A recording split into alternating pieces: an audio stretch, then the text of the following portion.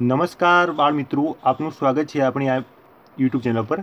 મિત્રો, આજે આપણે આ વિડીયોમાં ધોરણ ચાર, વિષય હિન્દી, સામાયિક મૂલ્યાંકન કસોટી સાત, માર્ચ બે હજાર એકવીસનું સોલ્યુશન જોઈશું. જેનો સમય રહેશે એક કલાક સાથે જ કુલ ગુણ છે પચીસ.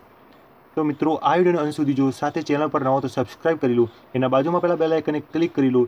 એટલે આપણે કંઈ પણ નવું, નવો વીડિયો મૂકીએ તો સૌપ્રથમ તમને નોટિફિકેશન મળી. સાથે જ કોઈ પ્રશ્ન હોય તો નીચે કોમેન્ટ બોક્સમાં જણાવી શકો છો.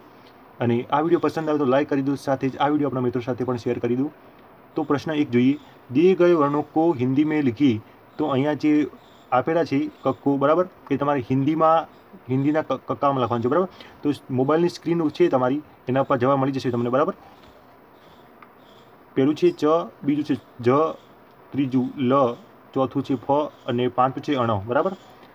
એનો પાંચ ગુણ છે. હવે પ્રશ્ન નંબર બે જોઈએ रिक्त स्थानों की पूर्ति कीजिए એના ગુણ છે પાંચ તો પહેલું છે કે ખાલી જગ્યા ચૂહા હે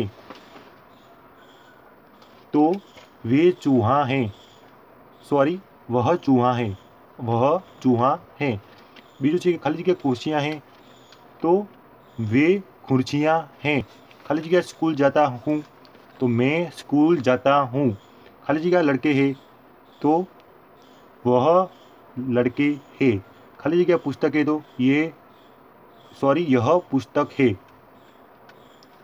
प्रश्न नंबर त्र निम्नलिखित प्रश्नों के उत्तर पूरे वाक्य में लिखी तो इना गुण है पाँच तो पहलू है आपका नाम क्या है? तो मित्रों अँ पहला प्रश्न में तरह पुता नाम लखवा रहे बराबर?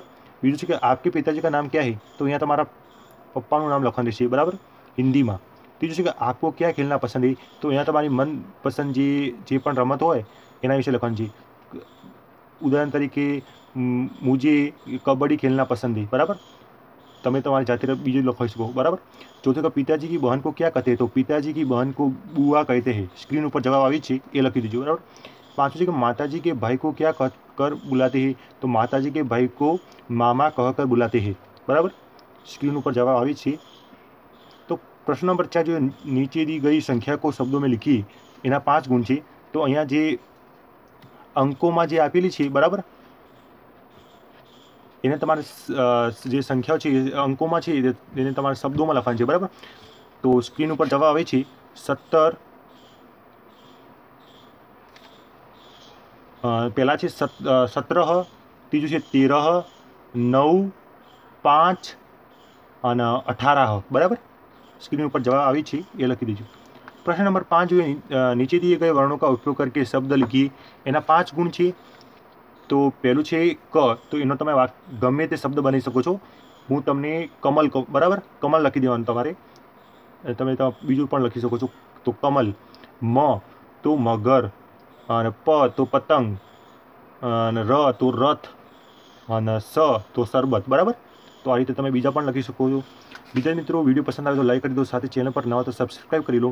એના બાજુમાં પહેલાં બે લાઇકને ક્લિક કરી લો એટલે કંઈ પણ નવું એજ્યુકેશન લગતું અપડેટ આવે તો સૌપ્રથમ તમને નોટિફિકેશન મળી. કોઈ પ્રશ્ન હોય તો નીચે કોમેન્ટ બોક્સમાં જણાવી શકો છો.